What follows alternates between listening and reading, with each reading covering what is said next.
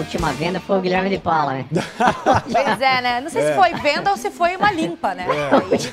A última Fica venda. aí, fica aí essa dúvida, né? É, daí. Ai, ai, né? ai. Ver Tem alguns vem. desapegos que é bom, né? Dar uma limpa na energia. assim, né? Desapegamos aqui, né? Desapegamos.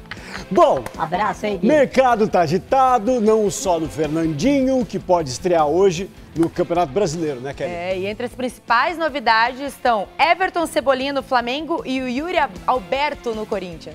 Se vira casaca? Everton Cebolinha já treina desde o dia 4 e hoje será sua estreia pelo Flamengo contra o Juventude.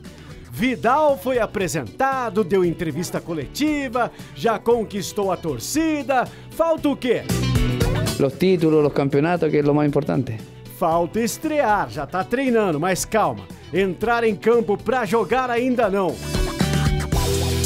Corinthians, quem vai pro jogo hoje contra o Coxa é esse cara aí, ó, o Yuri Alberto.